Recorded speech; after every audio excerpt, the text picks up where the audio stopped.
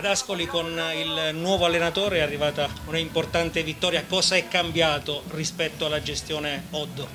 Eh, il nostro nuovo allenatore diciamo, è, è troppo peso per dirlo.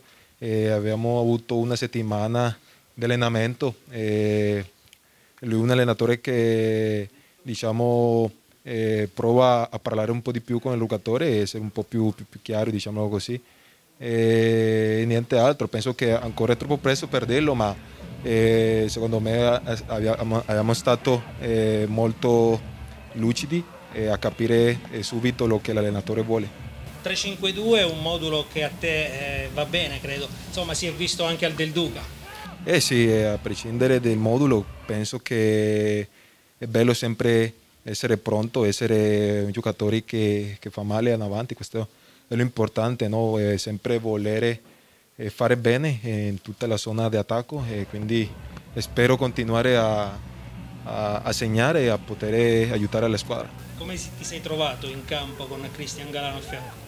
Ebbene, è certamente un giocatore che tecnicamente fa la differenza e, e per me un giocatore diciamo, un po' più forte, fisicità, è, è molto piacevole averlo vicino a me. Sabato c'è questa partita con il Vicenza, un altro scontro diretto in chiave salvezza, una partita da non sbagliare. Sì, è un, um, una squadra troppo, troppo, forte, diciamolo così, e hanno eh, in avanti nel ruolo attaccanti hanno tanti giocatori forti, quindi dobbiamo essere attenti in modo che, che possiamo sfruttare diciamo così, tutte, tutte, quelle opportunità che, che penso che possono lasciare. Hai avuto un ottimo inizio di campionato, media eh, partite giocate, gol segnati, però hai avuto anche qualche problema fisico e smaltiti questi problemi, come stai fisicamente?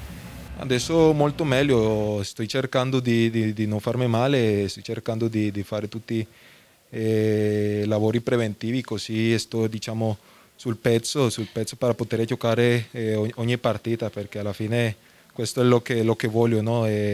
non farmi più male e, e poter aiutare la squadra.